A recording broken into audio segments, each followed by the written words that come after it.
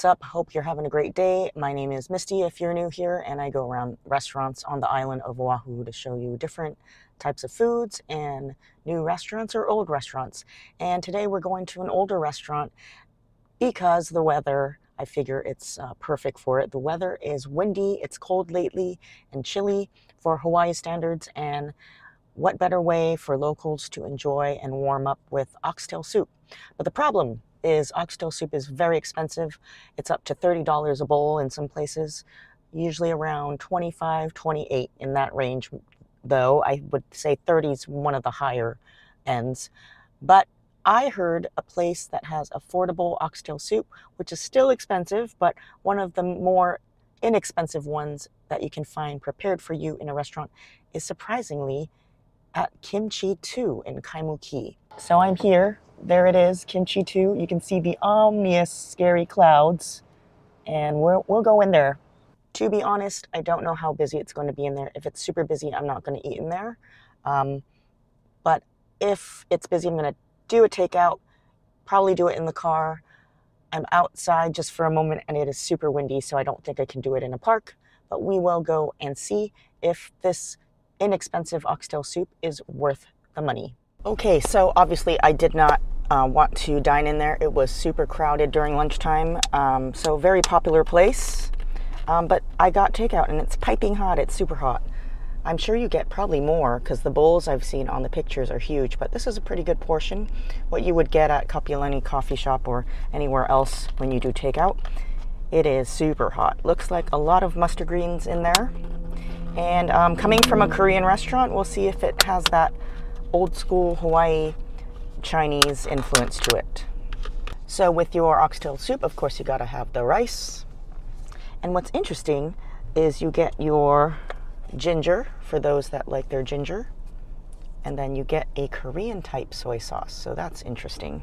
And then the really cool thing, I think it goes really well, it must be the part Korean in me, is you get a side of kimchi. So that's going to be yummy with the rice and the soup. So as you can see, there's a lot of mustard greens in there. Some green onion. I don't see any cilantro, but we'll see what's in it. And some meat. This does have a white milky look to it. Reminds me of a Korean oxtail soup, which is totally different from local style. It's more like a bone broth. So hopefully it's not too much of that. So I'm going to take a sip of the broth. Let's taste it.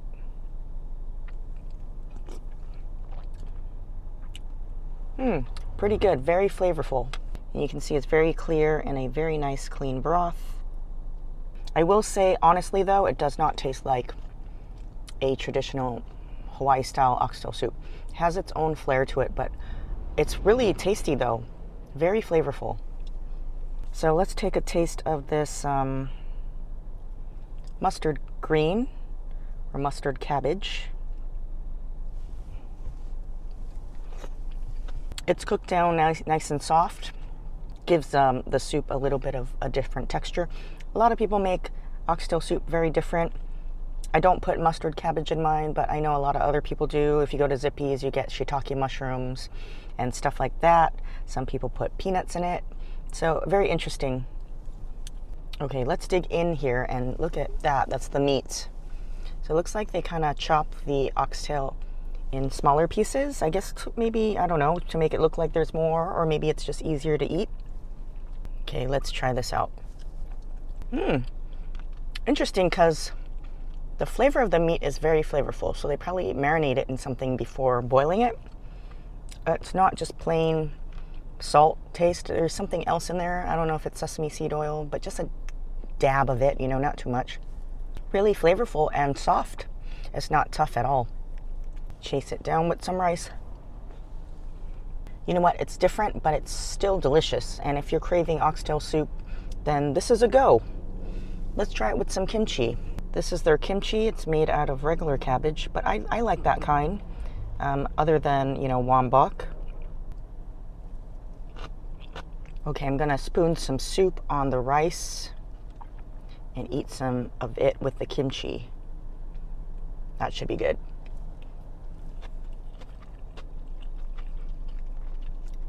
Yummy.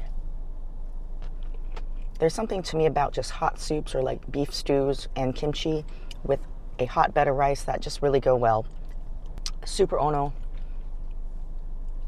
really goes well with the um, kimchi. I think it's a great addition and makes it different. Very comforting on a chilly winter day in Hawaii. Can't go wrong. All right, this is the sauce um, that comes with it that makes it unique. It looks kind of like um, the sauce you would dip mandu in or something like that. And it's got some, I don't know, stuff floating on top. Looks like spices and it looks very red, so I'm not sure if it's spicy. So what I'm gonna do is I'm guessing maybe you would dip your meat in there.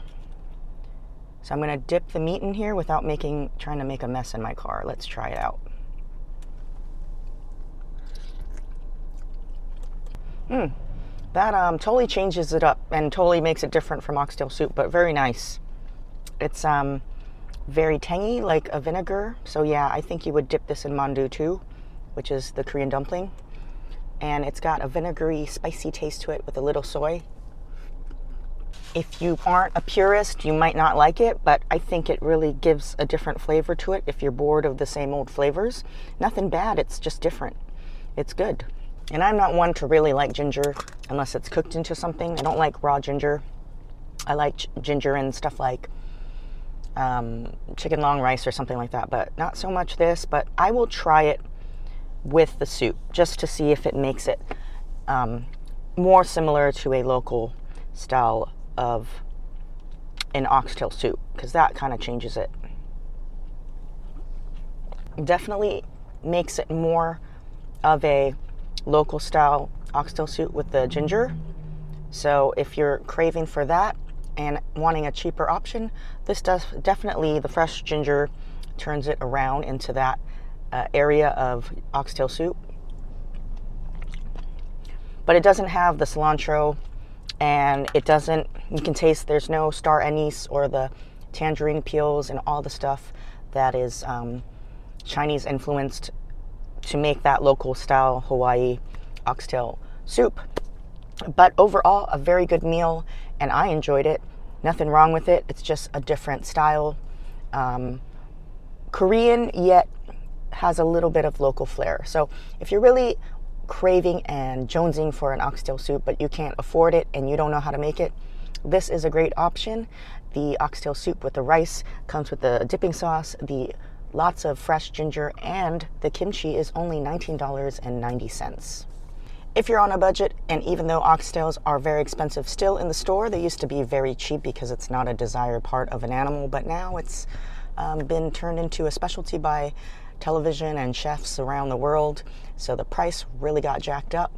Um, it's still cheaper to make at home, and if you're interested and you don't know how, I have a great recipe that I uh, make my oxtail soup uh, if I'm craving it at home, and I'll put the link above if you're interested. But next, I'm going to go to another place that supposedly serves a kind of oxtail type soup, and we'll see if it's also good and it's offered for a cheaper price compared to other restaurants. And it's right across the street from Kim Chee 2, so let's go check it out. Okay, we're across the street from Kim Chee 2. It's over there. And we're going to a Vietnamese spot right across the way, kind of diagonally and they serve a pretty reasonable priced oxtail soup, or you could get pho noodles. It's super pho.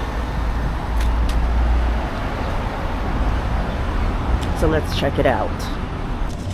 Okay, we're here in Super Pho, and this is their oxtail bowl. It's got um, lots of oxtail in here, some wonbok, cabbage, peanuts, and shiitake mushrooms with um, pho noodles and you can get pho noodles or rice if you don't want noodles. And then the owner said to try the special sauce that comes with it. It's garlic and ginger and fried scallions. So let's try that out.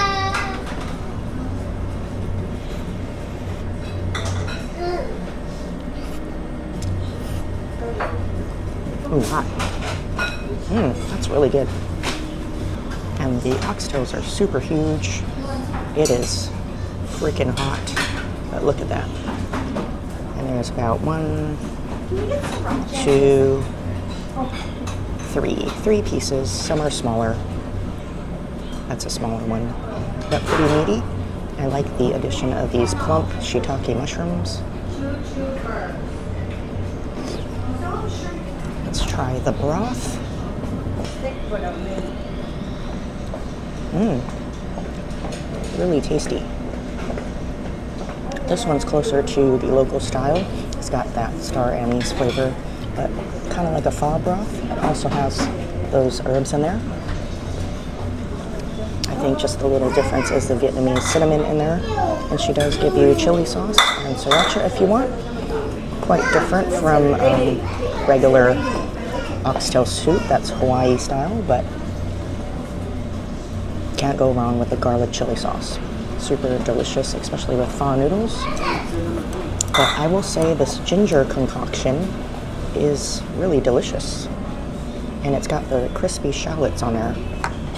So it's got that crunchy texture.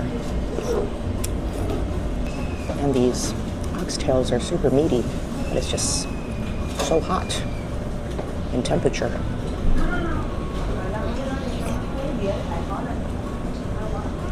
Super soft. Exactly like a local oxtail soup. It's tender, fall off the bone, not tough. And for those looking for that local touch, they got the peanuts. That's usually found in oxtail soup. But the mushrooms are really good. Soaks up all that broth. Not too much cilantro, but it's there.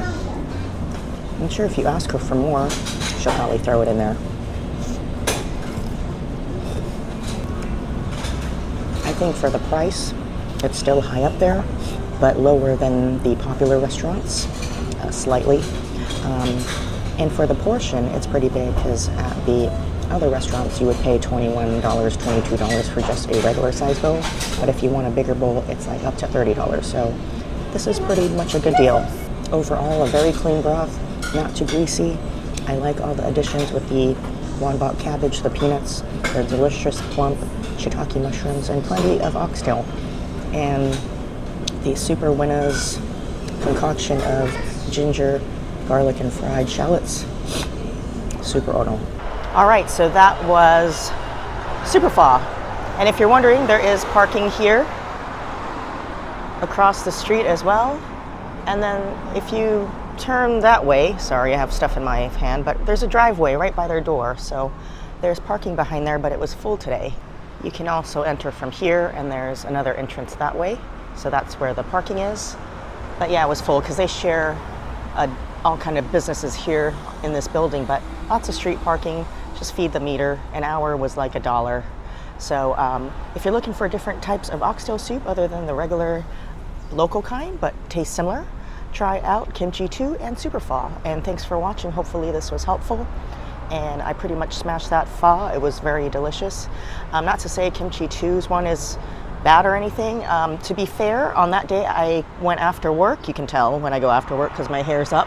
But um, I had a light lunch before that, so it was more like an early dinner. And I wasn't that hungry, but I definitely did smash that for dinner. Uh, later in the night, I, I finished it all. So it was good. It's a different type of oxtail. And if you're looking for that Korean kind of oxtail soup, go there as well. So if you like this, press the like button if you found it helpful and subscribe if you're new. Hopefully you heard that because the motorcycle went by. But yes, like, subscribe if you're new, and see you next week. Peace out. Have a great weekend. Bye.